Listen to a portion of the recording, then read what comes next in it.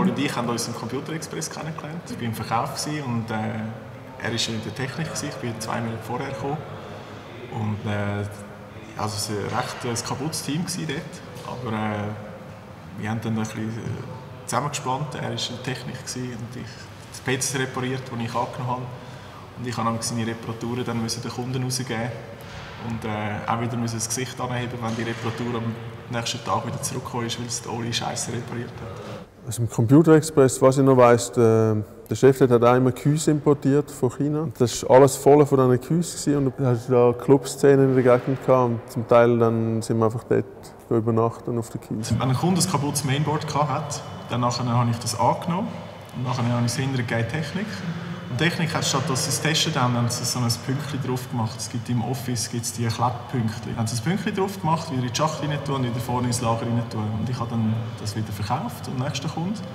Und dann äh, hat es die Feld gegeben, wo ein Kunde zurückgekommen ist und äh, gesagt, ja, sein Mainboard ist kaputt. Und dann habe ich es aufgemacht und gesehen, scheiße, es hat fünf Pünktchen drauf. Und das hat uns schon wirklich geprägt, ein bisschen, dass wir gesagt haben, ey, das ist wirklich nicht nachhaltig äh, Kunden nehmen und dann einfach wirklich so abzocken, sondern die Kunden, die man einmal gönnt, die muss man schauen, dass man die nicht mehr verliert.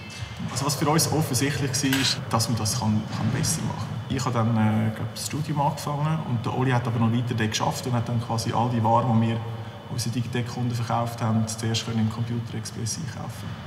Es war nicht ein klarer Anfang in dem Sinn, sondern äh, zuerst haben wir Computer verkauft an Bekannte und Verwandte. Dann haben wir den, den Online-Shop gemacht. Und haben das Büro an der Seebahnstraße untergemietet im Architekturbüro. Der Vermieter dort war eigentlich noch easy drauf und hat uns die 25 Quadratmeter untervermietet. Ohne richtige Tür, es hatte nur so eine Schiebetür. Und dort haben wir dann gestartet. Ja, Strub war eigentlich, dass wir äh, am Anfang ja ähm, gar nicht unbedingt wollen haben, dass Kunden zu uns kommen. Also wir haben einfach den Online-Shop äh, aufs Netz gestellt und dann noch das Büro gemietet. Gehabt. Wir haben nicht wollen, dass die Kunden zu uns kommen und, und Fragen stellen und, äh, oder das Zeug abholen. Und wir sind irgendwo im, im, im 9. Stock an der Seebahnstraße und die Adresse ist zwar irgendwo im Impressum gestanden, aber es ist nie etwas davon gestanden, dass man das Zeug kann bei uns abholen kann.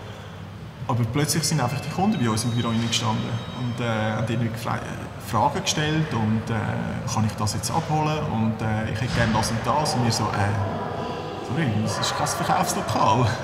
und dann haben wir aber gemerkt, dass, dass das wirklich halt ein echtes Kundenbedürfnis ist, dass wir äh, das Kunden es können auch abholen und das ist eigentlich nachher der, der Startschuss gewesen. Wir haben ja ab 9 Uhr ist irgendwie geöffnet gewesen nachher.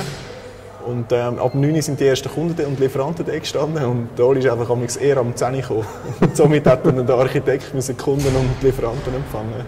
Und zuerst war das Zimmer komplett voll mit Gehäusen bis unter die Decke und nachher sind die Gehäuse so in Gang rausgewachsen. Und du weißt, ist irgendwann der, der Architekt ist irgendwann mal zu uns und gesagt, äh, hey Jungs, ähm, wir haben da noch das Büro und einen Gang und wir haben auch Kunden und so und es sieht einfach nicht so gut aus, wenn wirklich im ganzen Gang einfach die Computergehäuse stehen.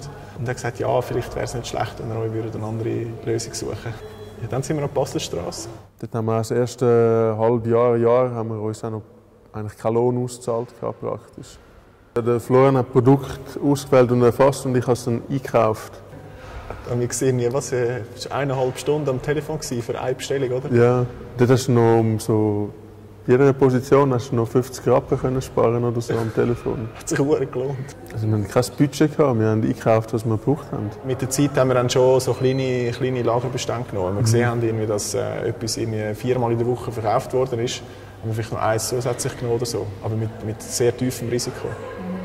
Und äh, das hat dann irgendwann haben wir dann dort eine Routine programmiert, wo, wo das System dann selber den Vorschlag gemacht hat. Als gemerkt hat, es ist so viel verkauft worden, hat es den Bestellvorschlag gemacht. Aber aus der damaligen Sicht heraus haben wir keine fundamentalen Fehlentscheidungen getroffen. Und was wir, auch, was wir schon wirklich hatten, ist auch äh, der Mut, um Sachen anders zu machen als unsere Mitbewerber.